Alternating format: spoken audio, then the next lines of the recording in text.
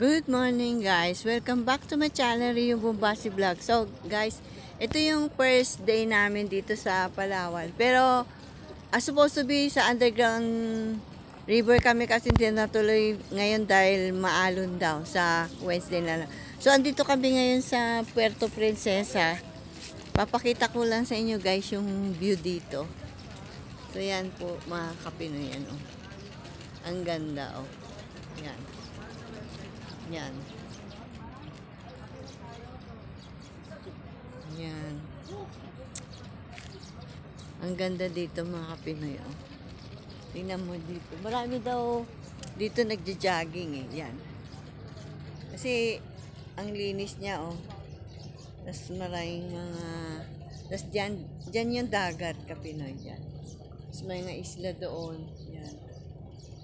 Doon. Ayan ito si Raymond. At yung misis niya, si Nirit, saka si, si Tess, saka si Nestor. Sila yung mga, lima kami na nag, nag tour dito ngayon. Four days kami dito sa, sa, pala, sa Palawan, mga kapinoy. At ah, praise God kasi sponsored po yun ng mga anak ng balai ko. Kasama ako. Kaya, blessing ni Lord John sa akin. First time ko na makapunta dito sa Palawan. First time ko rin na nakasakay sa aeroplano, mga kapinoy. Kaya, ang saya-saya ko din. Bukas, pupunta, ah, mamaya pupunta kami ng Il Nido pala, mga guys. Yan. Ito po, oh. Yan, tapos magalang kayo. Okay lang? Yung medyo merong hindi pinautang, layo-layo kayo, balik sa sa kilala. Tago-tago. Tago-tago. Camera.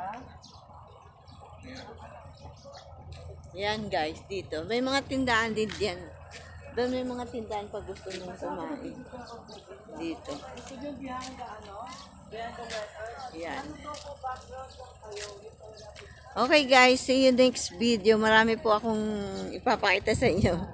Beauty ng Palawan. Bye!